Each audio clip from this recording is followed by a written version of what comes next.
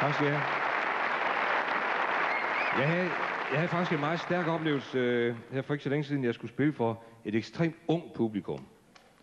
Og øh, det er udmærket. Jeg kan så bedst lide, at øh, for mig der er et godt publikum et på alle måder blandet publikum, aldersmæssigt og, og øh, pæne og grimme mellem hinanden og sådan noget. øh, men her skulle jeg spille for et lidt ensartet publikum. Det var helt ungt, og det var ene piger, det var sygeplejeelever.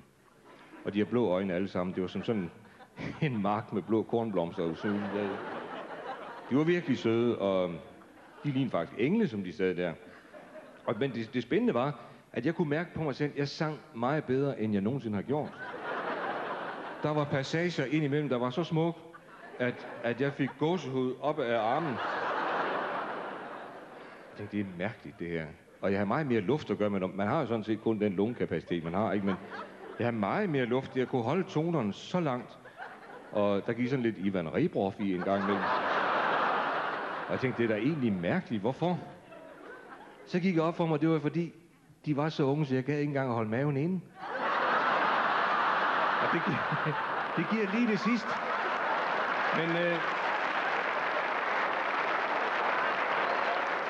Og jeg kan også mærke, at jeg optrådte sådan lidt onkelagtigt overfor dem. Sådan snakker en del om, og, og, og, når man bliver voksen og sådan noget. Og så sluttede jeg på en måde. Jeg har aldrig sluttet en koncert på den måde før. Og jeg vil heller aldrig gøre det mere. Jeg hørte pludselig min mund sige, ja, og hvis nogen har noget at spørge om, så...